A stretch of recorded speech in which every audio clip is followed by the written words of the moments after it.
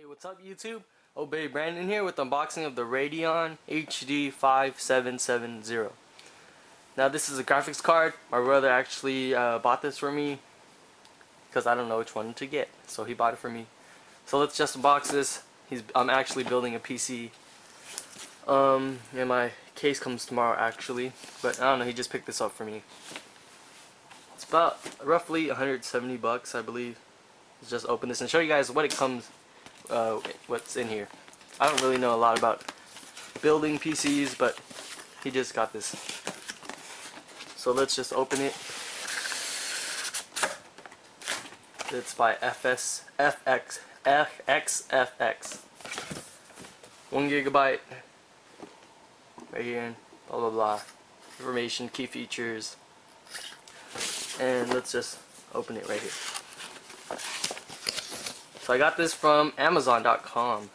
So you got a quick install guide, an installation guide, CD,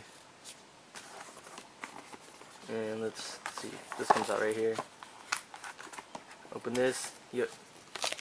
One of these thingies, this one looks like a VGA to DVI connector, and you get this, I think this is the door tag right here not disturb disturb do not disturb I'm gaming. Got one of those and you got the graphics card right here. So let's just take this out of the packaging. Pretty small right here. Radeon HD 5770 a little fan right here. Pretty, pretty cool graphics card. But that's it guys. Thanks for watching. Oh and I think that's all you get so far. Let's check.